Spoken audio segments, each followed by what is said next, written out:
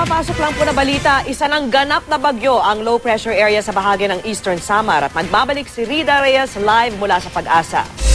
Rida! Tama yan, Vicky. Kapapasok nga lamang at kalalabas lamang nitong ah, pinakahuling ah, ah, update nga nitong pag-asa dito sa namuong LPA na kaninang inulat natin. At ngayon nga, ay ah, nabuo na siya bilang isang tropical depression at ah, Ambo ang ipinangalan sa kanya.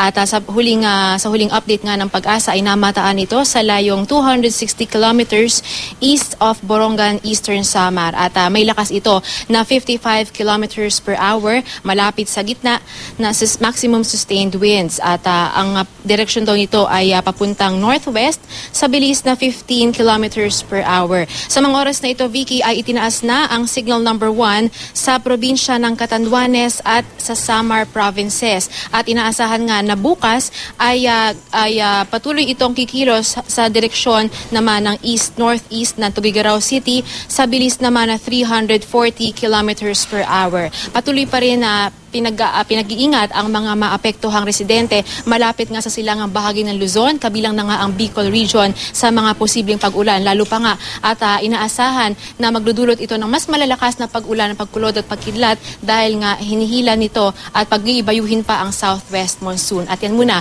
ang pinakasariwang ah, balita mula rito sa pag-asa sa Quezon City. Ako si Rida Reyes, ang inyong saksi.